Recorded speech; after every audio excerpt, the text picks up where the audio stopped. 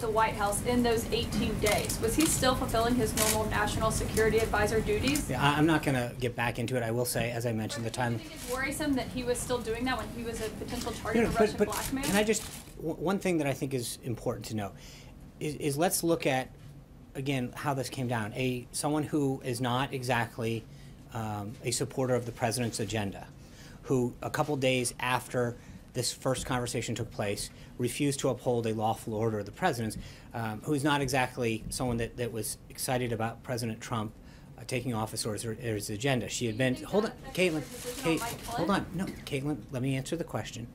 She had come here, given a heads up, told us there were materials, and at the same time, we did what we should do. Just because someone comes in and gives you a heads up about something and says, uh, I want to share some information, it doesn't mean that you immediately jump the gun and go take an action.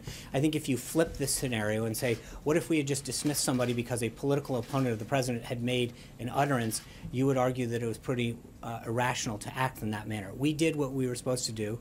The president made ultimately the right decision, um, and I think he was proven that that uh, How that she a political opponent of the president? she was. I, I, I, attorney general that he the, appointed by the Obama administration and a strong opponent, a strong supporter of the of Clinton.